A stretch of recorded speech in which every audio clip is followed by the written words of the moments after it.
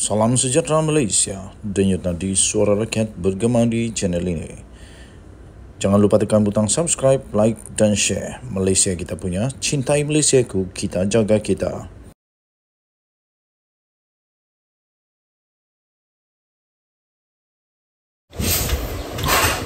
Salam sejahtera Malaysia, denyut nadi suara rakyat bergema di channel ini. Tengah sarapan, ah, beberapa donat, lepas tu donat lagi dan pastinya Nescafe Stub. Uh.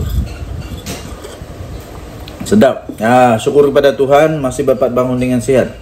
Bukan apa. Saya hanya ingin berkongsi kepada uh, satu satu uh, komen daripada uh, salah seorang daripada viewer saya. Dia kata uh, cepatlah serbu, cepatlah serbu uh, rumah-rumah mereka yang mau disiasat tu. Serbulah cepat rumah Tun Mahathir. Serbulah cepat rumah Daim Zainuddin begitu. Uh, lepas tu semualah disuruh serbulah.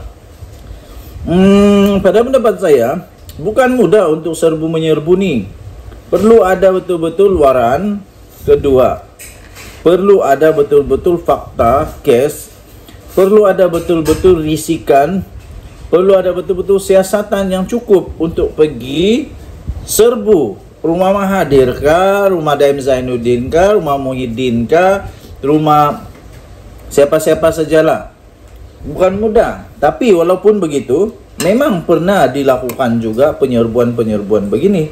Contohnya, uh, Menteri uh, uh, Menteri Sumber Manusia baru-baru ini, rumahnya digeledah, diserbu, pejabatnya digeledah, diserbu untuk siasatan mencari wang. Yang dikatakan uh, ada uh, yang sedang dicari itu.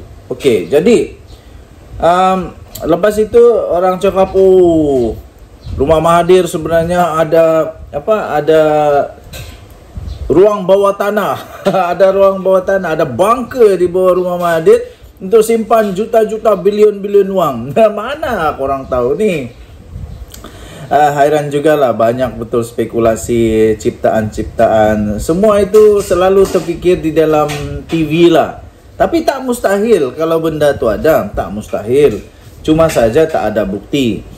Kalau di di bawah rumah Mahathir itu ada pejabat ada bank ada wang berjuta-juta dalam duit siling ke eh tak kisahlah ada atau tidak tidak dapat dibuktikan tapi tidak mustahil.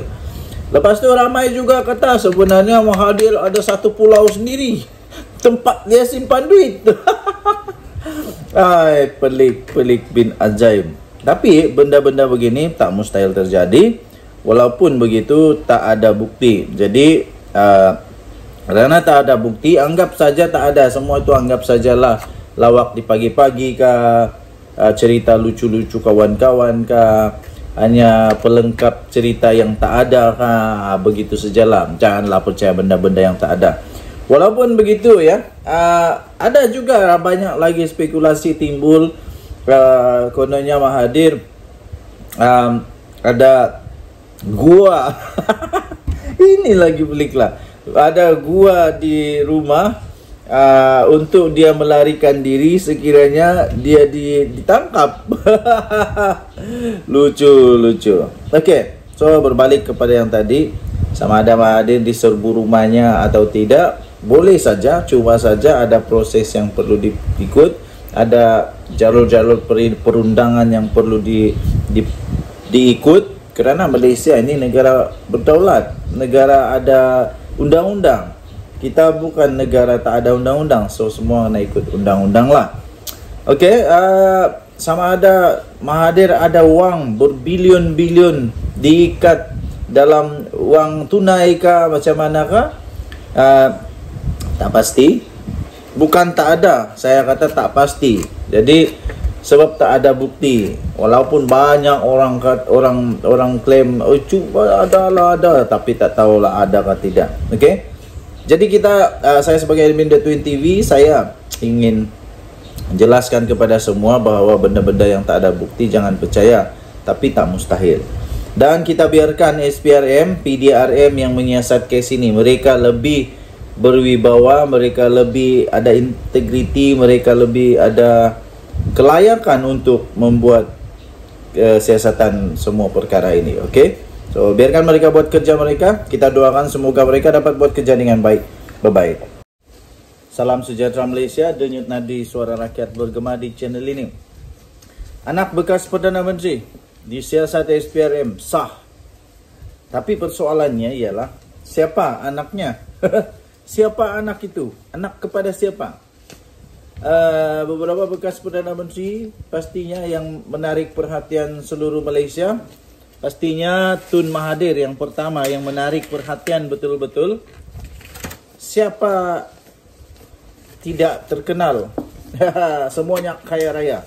Semuanya Kaya betul lah. Ha. Tun Mahathir. Kedua, yang pasti menarik perhatian adalah Muhyiddin Yassin lah. Kerana uh, kes-kes yang sekarang ini terkenal dengan dikaitkan dengan Muhyiddin Yassin.